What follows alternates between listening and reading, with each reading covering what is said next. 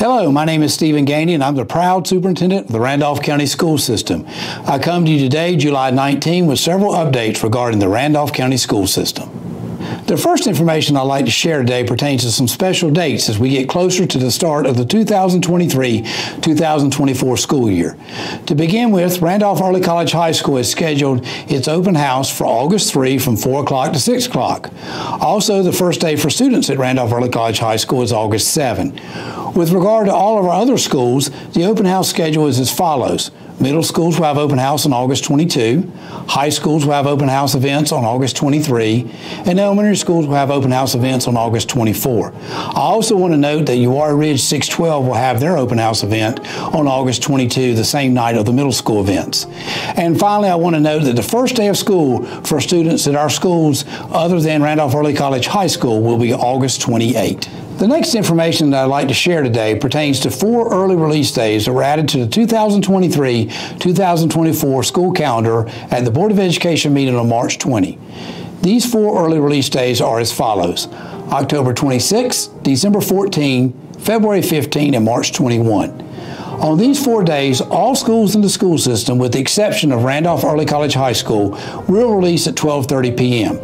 This early release time will be used for staff development for our teachers throughout the school system, and it will be particularly helpful for our elementary school teachers who are participating in the state required LETRS training on these days. So I just want to make you aware of these four early release days that have been added to the 2023 2024 school calendar.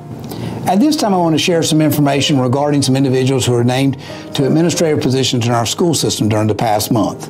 At the June 29 Board of Education meeting, Amy Bowser was named to be assistant principal at Coleridge Elementary School and Seagrove Elementary School. Johnson Lanier was named to be the new assistant principal at Randleman High School, and Sean Shoptower was named to be the new assistant principal at Randleman Elementary School.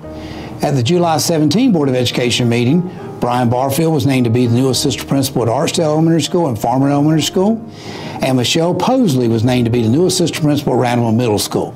I want to congratulate all these individuals for their appointment to these new positions, and I want to thank them for taking on these new leadership roles in the Randolph County School System.